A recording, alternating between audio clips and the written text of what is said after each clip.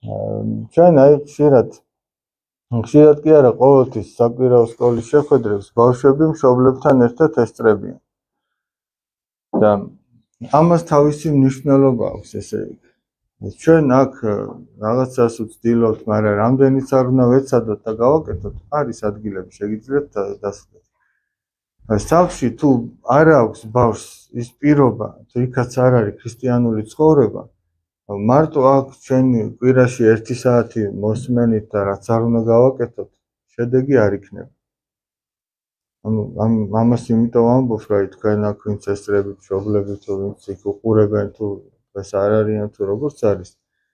ჩვენ უნდა ვეცადოთ, რომ ჩვენ შვილებს, ჩვენ სავე ოჯახებში შეუქმნათ ისეთი გარემო, რომ იქ ქრისტიანული ცხოვრება არსებობდეს. იმისათვის რომ ჩვენი შვილები გაიზარდონ ქრისტიანები. ამას ძალიან დიდი მნიშვნელობა აქვს. როგორი სკოლაც არ უნდა იყოს, როგორი უნივერსიტეტიც არ უნდა იყოს, როგორი საბავშვო ბაღიც, ბავშვი გამოდის ოჯახიდან. ან ასეთი და ან ისეთი. ამას მე ვფიქრობ, არანაირი მსჯელობა და კამათი მით უმეტეს არ ჭირდება. რა თქმა უნდა ყველაფერი მოქმედებს ის გარემო მოქმედებს სადაც აქვს ბავშვს ურთიერთობა და შეხება ყველაფერს თავისი მნიშვნელობა აქვს მაგრამ უპირველესი მნიშვნელობა აქვს ოჯახს. იმიტომაც არის რომ ჩვენ აქ ბავშვებთან ერთად მშობლებიც ძანდებით და რასაც ბავშვი ისმენს მშობელიც ისმენს. ისე რომ ერთ-ერთი ბებო გვირეკავდა რომ რას ასწავლითო მანდო ჩემ შვილიშვილსო აიო სახში ასე და ასე აკეთებს.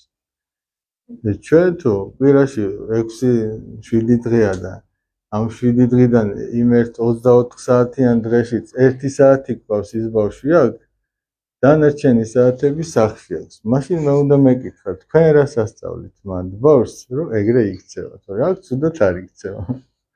ასე რომ ნუ გადავტეხავთ მარტო იმაზე ჯოხს, რომ აი ჩვენ აქაი რასაც ვასწავლით, ყველა ხედავს. დანარჩენი იმის იქით არაფერს არ ვეუბნებით. ეხლა თქვენ გინახიათ, რომ სახში გვეთქვას რომელიმე ბავშვისთვის, რომ აი ბებოს არ დაუჯერენ. გინახიათ, რომ ეგეთი რამე გვეთქვას? ჰმ, მოგისმენიათ? აა. მაგრამ ის ბებო თუ თავის დედას არ უჯერებს და ბავშვი ამას ხედავს, დიდი ალბათობით არც ბავშვი არ დაუჯერებს იმ ბებოს და რა ვქნათ ახლა ჩვენ მაშინ ის ბებოს და თავისი დედაც აქ მოვიყვანოთ და არ მოდიან და რა ვქნათ ასე რომ ყველაფერი ერთმანეთზეა დამოკიდებული. ერთი სათნოება მეორეს შობს. ამ ოჯახში ასე იგი მშობელი რომელსაც უნდა და რომელს არ უნდა რომ შვილი უჯერებდეს არა? ეს მშობელი თავის მშობელს თუ უჯერებს დიდი ალბათობით შვილიც დაუჯერებს მას. აი, ეხლა იმდენად აღარ არის, მაგრამ ძველად უფრო მეტად იყო ხოლმე ოჯახები, სადაც მინიმუმ სამი თაობა ცხოვრობდა. პაპა, თავისი შვილი და მისი შვილიშვილი. იყო ოჯახები, სადაც ოთხი თაობა ცხოვრობდა.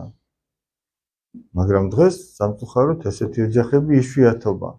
იმიტომ რომ ნუ ახალგაზრდები აღარ გულობენ ამას და ცალკე უნდა ყველას და რაღაც. ეს გასაგებია სუსტია დღეს ადამიანი მაგრამ აი მოჯახებში სადაც სამი და მithumetes 4 თაობა ცხოვრობს იმ ოჯახებში ადვილად ყოველგვარი ჩიჩინის გარეშე ბავშვი უყურებს რომ დედა თავის შობელს უჯერებს ის კიდე თავის შობელს უჯერებს და უკვე ხდება რომ მეც ეთქობა უნდა დაუჯეროს განაირად აქ არიევარ ესეა მოწყობილი აი მაგალითად 60 ბავშვი როა და ჩვენ რო გვეუბნებიან რომ ჩვენი შვილი ვერ მომყავს ასეთია ისეთია კედლებზე დადის. მეუბნები მოიყვანე. და აქ რო შეხედავს რომ 60 ბავშვი აი ასე იქცევა 71-იც ისე მოიქცევა.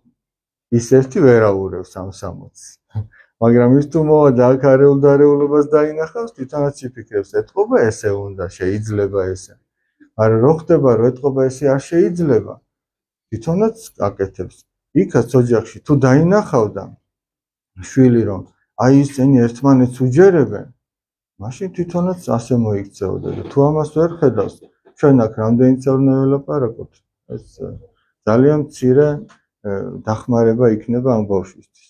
თუ ის ხელშეწყობა არ იქნება.